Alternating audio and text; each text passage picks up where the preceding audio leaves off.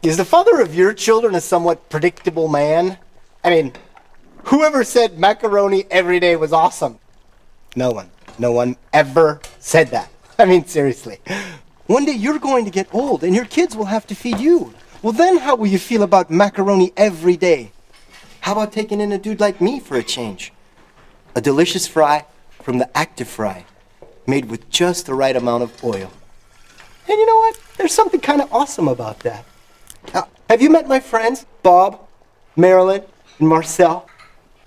we share the same faiths.